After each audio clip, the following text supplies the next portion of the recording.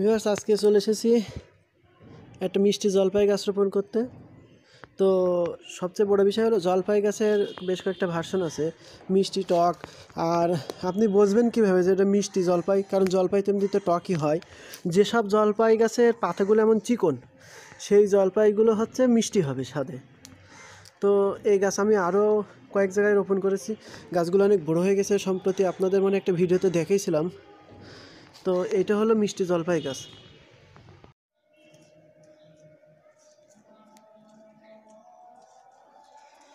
আমি একটা জলপাই, মিষ্টি জলপাই গাছ রোপণ করে ফেলেছি আর অলরেডি একটা খুঁটিও পুঁতে দিয়েছি যাতে এটাকে নষ্ট না করে ফেলে। আর আপাতত এক সপ্তাহ জল দিলে গাছটা মরে যায়, মরবে না। কারণ এটা হলো এই যে পলিথিনের গাছ তো পলিথিনের যে গাছগুলো আপনারা বিশেষ করে মাটির গাছ কেনার থেকে পলিথিনের যে গাছগুলো দেওয়া হয়, বিক্রি হয়, এই গাছগুলো কিনবেন।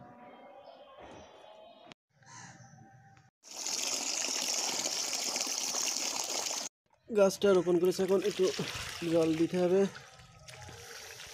জল দিয়ে দিচ্ছি। আপনারাও গাছ রোপণ করে জল দিবেন, না হলে কিন্তু গাছ মারা যাবে।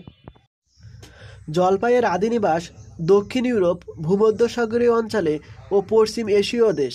অনেকের ধারণা এটি পশ্চিম এশীয় দেশ থেকে দক্ষিণ ইউরোপে বিস্তার লাভ করেছে। ভূমধ্যসাগরীয় আবহাওয়াযুক্ত জলবায়ুতে এর প্রচুর চাষ হয়। ওইসব অঞ্চলের প্রান্তীয় দেশগুলো জলপাই চাষের জন্য প্রসিদ্ধ। জলপাইয়ের বৈজ্ঞানিক নাম হলো ওলিয়া ইউরোপিয়া। গাছের বর্ণনা করতে গেলে বলতে হয়, মাঝারি আকারের বৃক্ষ, প্রায় দশ থেকে বারো মিটার দীর্ঘ হয়। গাঢ় সবুজ পাতা, লম্বা দশ থেকে পনেরো সেন্টিমিটার ও চওড়া দুই পয়েন্ট পাঁচ সেন্টিমিটার। পাতার কিনারা অল্প করাতের মতো ধারালো। অল্প করাতের মতো দাঁতালো। শীতের শেষে, অর্থাৎ ফেব্রুয়ারি থেকে মার্চ মাসের সাদা রঙের ক্ষুদ্র ক্ষুদ্র ফুল আসে এবং আগস্ট থেকে অক্টোবর মাসে ফল পুষ্ট হয়।